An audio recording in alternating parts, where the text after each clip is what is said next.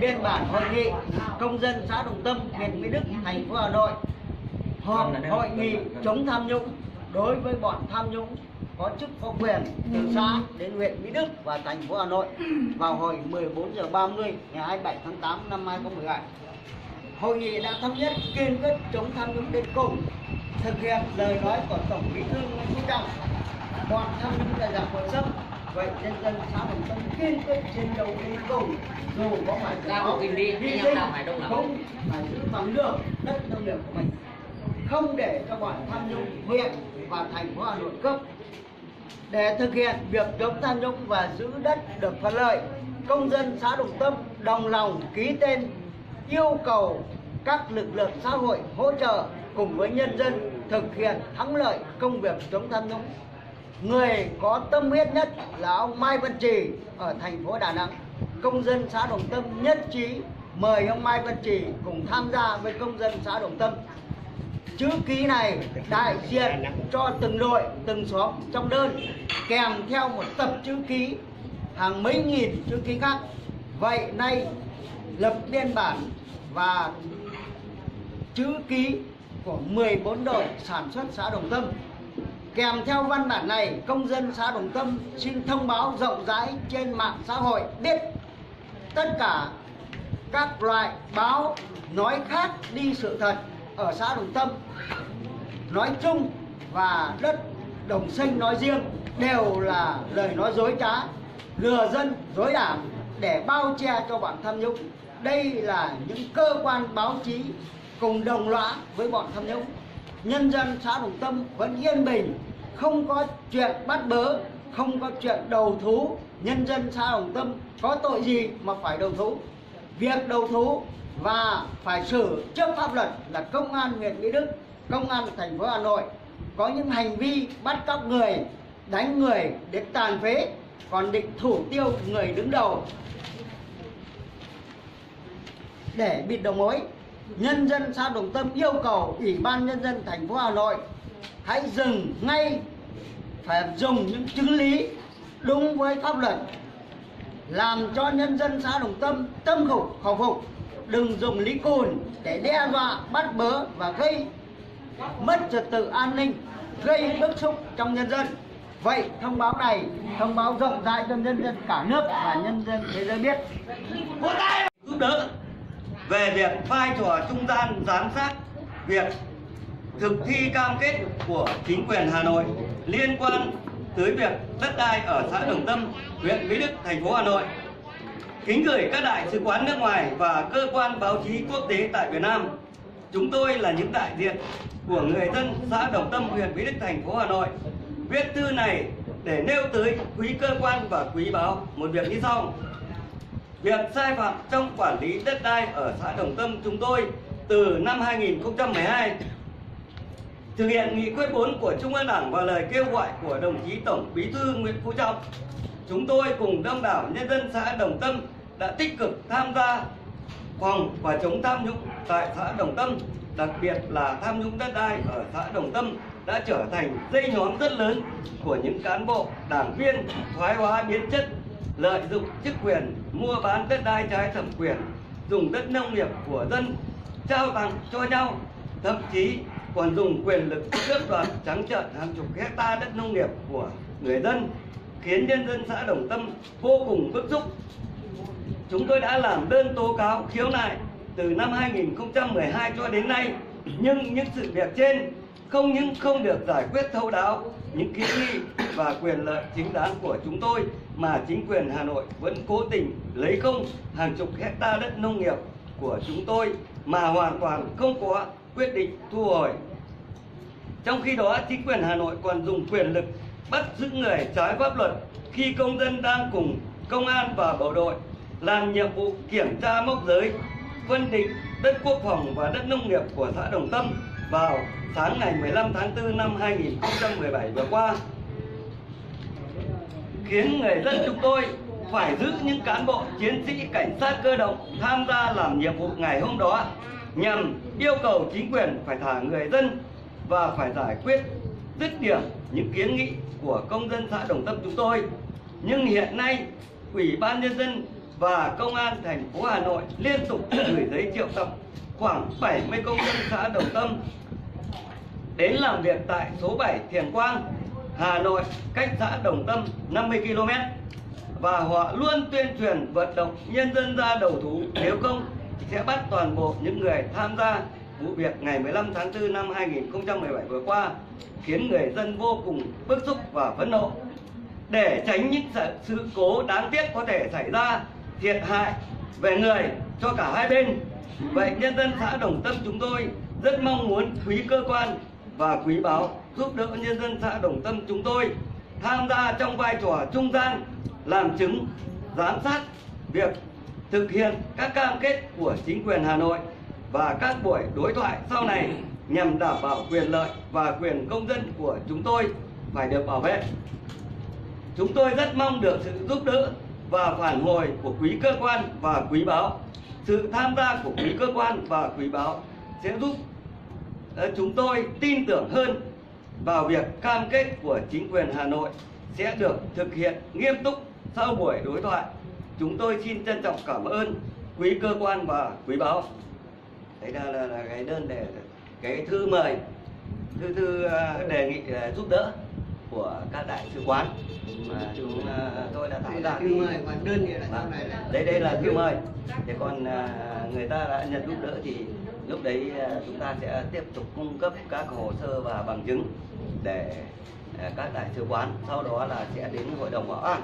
Là để, để, Trong nước đấy, với nhau thì Liên Hợp quốc để để giúp đỡ nhân dân chúng ta Đó. để ký để để cho một được ký trước để mà nhân dân thôi cái nhân dân ký đầy đủ đúng rồi. cái kia mình đã đã có 500 chữ ký của dân rồi.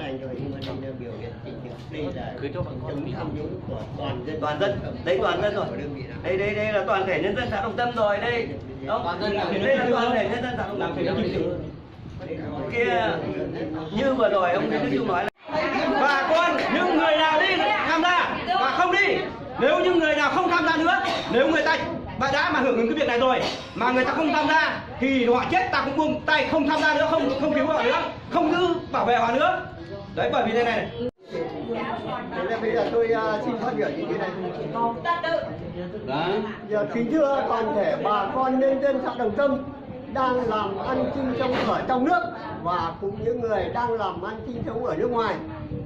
Chúng tôi là những người dân xã Đồng Tâm đang làm công tác chống tham nhũng, tức là chống giặc nội sông trên địa bàn xã Đồng Tâm, huyện Mỹ Đức, thành phố Hà Nội. Xin báo cáo cụ thể với nhân dân Đồng Tâm đang làm ăn sinh sống ở trong nước và nước ngoài. Riêng về nội dung đất quốc phòng thuộc sân bay Miếu Môn như sau.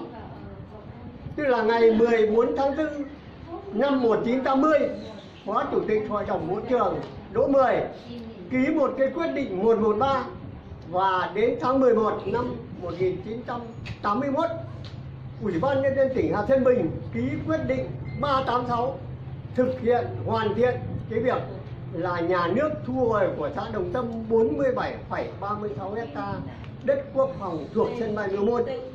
Và từ đó đến nay thì duy nhất cũng chỉ có một cái quyết định 113 ngoài chưa chưa có thể bất kể một cái quyết định nào khác thu hồi thêm đất của xã Đồng Tâm. Và ngay trong quyết định tức là kết luận thanh tra của đoàn thanh tra thành phố Hà Nội cũng đã kết luận là đất quốc phòng thuộc sân bay miêu Môn chỉ có 47,36 ha đã có mốc giới Đông Tây Nam Bắc Hà Nội. Vậy thì đến ngày 27 tháng 3 năm 2015 Bộ Quốc phòng Bộ Tổng tham mưu có quyết định 151 551 551 551 quyết định thu hồi 50,03 hecta đất quốc phòng thuộc sân bay Miếu Môn do quân chủng phòng không không quân quản lý để bàn giao cho Viettel. Vậy thì quân chủng phòng không không quân không bàn giao cho Viettel tại khu vực 47,36 hecta và Viettel cũng không nhận tức là cái 50 hecta này trên tức là viện trí 47,30 hecta thì cái việc nhận hay không nhận đấy là quyền của họ. À, bởi vì nếu như họ không bàn giao và không nhận thì họ sẽ không có đất. Cái việc đó là việc nội bộ của à, quân chủ của quân và tập đoàn bưu chính việt thông Viettel. Nhưng đến ngày 27 tháng 3 năm 2015 Bộ Tổng tham mưu quyết định 551 thu hồi đất quốc phòng do quân chủ phòng không không quân quản lý tại sân bay Miếu Môn giao cho tập đoàn Bưu chính Viễn thông quân đội sử dụng vào mục đích quốc phòng. Ngày tháng 3 năm 2016, tập đoàn Bưu chính Viễn thông nhận bàn giao từ quân chủng phòng không không quân diện tích là 50,03 hecta đất quốc phòng trên địa bàn xã Trần Phú, huyện Trương Mỹ là 3,5 hecta và xã Đồng Tâm, huyện Mỹ Đức, thành phố Hà Nội là 46 hecta. Vậy thì cái chỗ mà Việt theo mượn tiếng là quân chủng phòng không quân bàn giao cho họ tức là ở xứ Đồng Thanh là khu đất nông nghiệp của chúng ta thì chỗ này quân chủng phòng không quân hoàn toàn không có quyền và không có phép gì, tức là được bàn giao ở chỗ này, bởi vì đây là đất nông nghiệp của xã Đồng Tâm chúng ta. Nhưng việc thứ hai là đây là một việc làm ăn phi pháp, là vi phạm vào luật đất đai năm 2003 và năm 2013 bởi vì đây là đất nông nghiệp của xã Đồng Tâm mà tập đoàn Bưu chính Viễn thông nhật bàn giao từ quân chủng phòng quân nhưng đến khi bị nhân dân xã Đồng Tâm chúng ta giữ đất, tức là không cho làm, thì nếu đúng lý là tập đoàn biêu chính Viễn thông phải làm đơn đề nghị quân chủng phòng quân là anh bàn giao đất cho tôi, nhưng hiện bây giờ bị nhân dân xã Đồng Tâm giữ đất không cho làm. Nhưng họ lại không làm thế.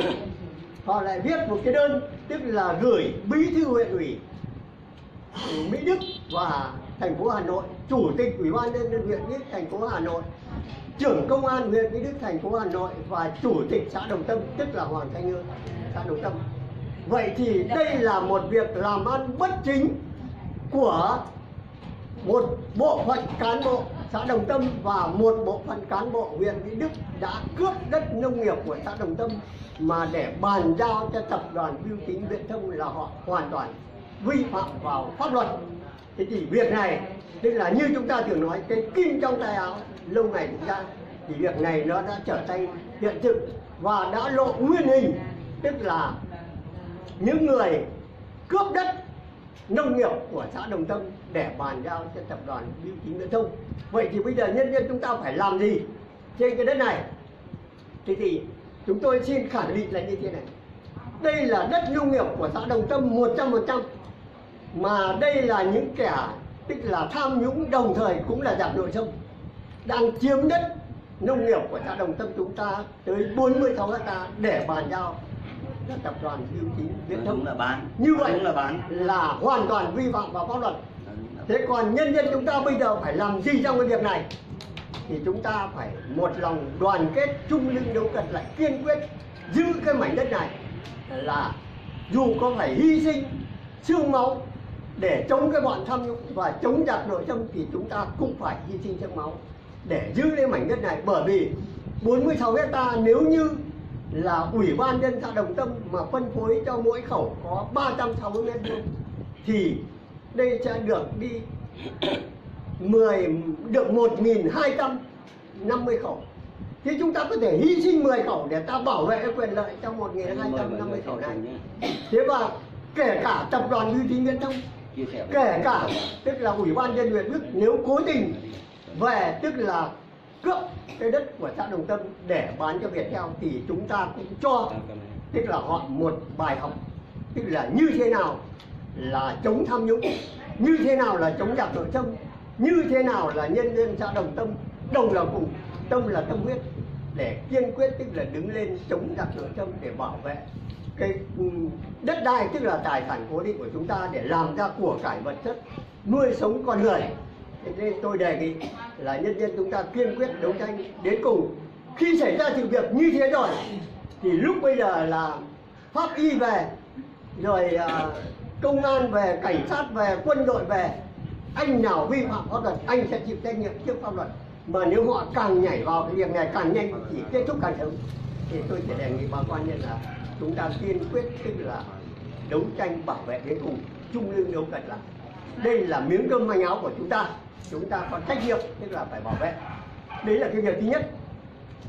Việc thứ hai thì từ trước tới nay ủy ban nhân dân thành phố hà nội công an thành phố hà nội ủy ban nhân dân huyện mỹ đức và à, huyện ủy hội đồng nhân dân ủy ban nhân dân và mặt trận tổ quốc huyện mỹ đức luôn luôn có những hành vi, tức là vu khống chúng ta, cho rằng chúng ta nhường bộ phận chống tham nhũng. Đây là một nhóm người, tức là vì lợi ích cá nhân, gây rối trật tự công cộng và gây lên, tức là cái sự bạo loạn. Cho nên là ủy ban nhân dân đồng tâm đã báo cáo về huyện mỹ đức là đồng tâm chuẩn bị, tức là bạo loạn. Và huyện mỹ đức đã báo cáo lên thành phố là đồng tâm chuẩn bị bạo loạn. Thì như vậy họ đã có phương án tức là để dẹp loạn. Thế thì chúng ta phải hoàn toàn gạt bỏ những cái tư tưởng này bởi vì họ muốn tách chúng ta ra khỏi. Tức là cái hàng ngũ chống tham nhũng để bảo vệ quyền lợi của dân. Thế thì tôi khẳng định một lần nữa là công tác chống tham nhũng đây là của toàn đảng, toàn dân chúng ta. Mà chúng ta không như các nơi khác. Nếu bây giờ họ đơn kiện được trăm ba, trăm mét hoặc một nghìn mét, đấy là hoàn toàn của cá nhân của họ. Nhưng chúng ta đây dù được một mét vuông chia đều cho bảy nghìn năm trăm khẩu. Cái đất của xã đồng tâm chúng ta. Cho nên đây là hoàn toàn chúng ta, tức là đấu tranh chống tham nhũng vì quyền lợi của toàn dân. Không vì cá nhân ông kình, không vì anh ba, không vì tức là anh công và không vì tất cả bà con. Cho nên chúng ta tức là phải có một cái kiên quyết, tức là xử lý là như vậy. Thế còn bây giờ ai? Ai là người gây dối trật tự công cộng? Thì ta cứ nói thẳng thế này. Công an thành phố hà nội công an huyện mỹ đức và tổ công tác về xã đồng tâm đây đang gây rối trật tự công cộng. Bởi vì chúng ta đang làm ăn yên ổn ở nói đời sống tức là bình thường. Bây giờ đến nhà này, yêu cầu là đi lên, tức là số hải trần quang để đầu thú. Yêu cầu nhà kia đến để đầu thú. Rồi người này lên đầu sinh là vi phạm vào pháp luật. Người kia lên đầu tranh là vi phạm pháp luật. Thì bây giờ tóm lại thế này. Chỉ có họ vi phạm pháp luật. Vì sao? Đất đồng chân là đất nông nghiệp của chúng ta. Chúng ta có quyền lên có quyền trồng trọt có quyền làm ăn sinh sống ở trên đấy. Còn họ ngộ nhận đây là đất quốc phòng nhưng thực ra không phải là đất quốc phòng. Chính bản thân họ mới là người vi phạm pháp luật. Cho nên là bà con chúng ta tức là yên tâm vững tâm tin tưởng vào tức là cái ừ, cái, cái, cái kết luận mà ai đến, chúng ta phải nói thẳng, chính bản thân các anh đang là người đi gây rối trật tự công cộng. Chính bản thân các anh đang làm mất ổn định tình nông thôn chính bản thân các anh đi lên đầu trên là các anh vi phạm pháp luật. Còn chúng tôi đồng tiên là đất của chúng tôi, từ ông cha ngày xưa giờ chúng tôi vẫn làm vẫn làm ăn kinh dụng thì chúng tôi không có gì vi phạm cả. Cho nên là đặc biệt là ủy ban nhân dân thành phố hà nội là có một cái dối đảng lừa dân lật lọng bây giờ tôi nói ví dụ trên này. 47,36 hecta. Xã Đồng Tâm chúng ta là một xã tôn trọng nhất tức là ở trong cái sân bay nhiều Môn cho nên 47,30 hecta này chúng ta vẫn để nguyên thi không ai động chạm gì đến.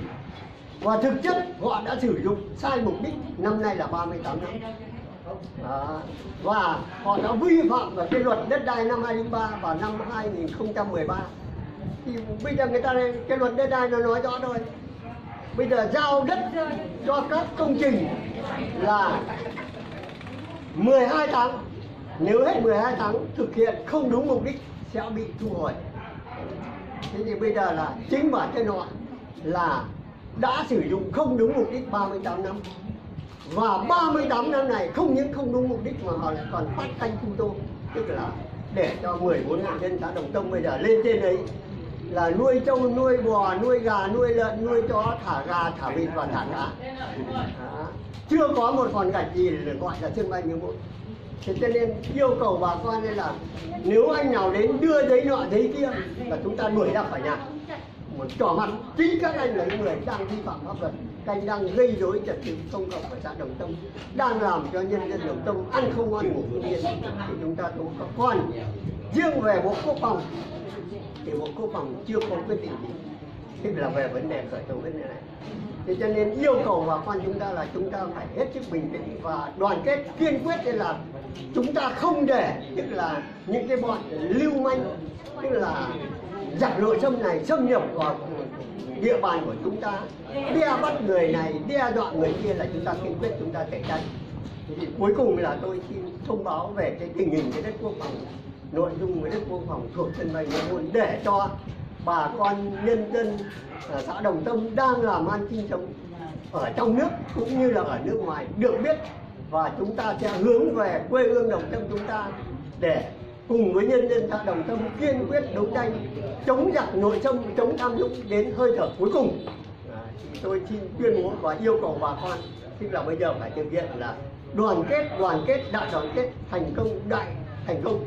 Thì mong bà con chúng ta đoàn kết. Đoàn kết. Đoàn kết. Thành công. Thành công, thành công.